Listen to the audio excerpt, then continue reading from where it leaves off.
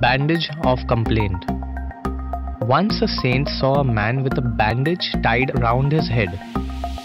Why have you tied the bandage? he asked. Because my head aches, the man replied. How old are you? he demanded. Thirty, he replied.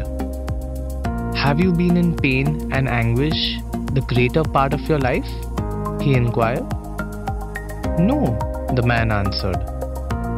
For 30 years you have enjoyed good health, he remarked, and you never tied the bandage of thankfulness.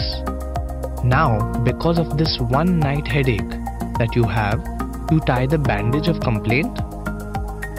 Moral We often start complaining when things go wrong, but we are never thankful when things are going right for us. We should make it a habit to be more grateful for the things we very often take for granted.